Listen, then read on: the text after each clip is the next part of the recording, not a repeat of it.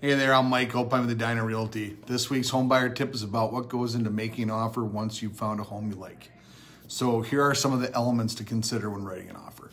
Number one, is the home in multiple offers? If so, are any of the offers the listing agents? Two, have there been any canceled offers? If so, why? Number three, what's the sales history of the home? Four, what are the current market conditions? Supply and demand ratio and the time of year will affect pricing and balance power negotiations. Five, look at comps to determine if you agree with the list price and help you decide what your offer is going to be. Number six, are there any special assessments? If so, how much and for how long? Seven, what does the seller's disclosure say? Number eight, is there a truth in sale of housing requirement in the city? If so, do they have an inspection report? Are there required repairs?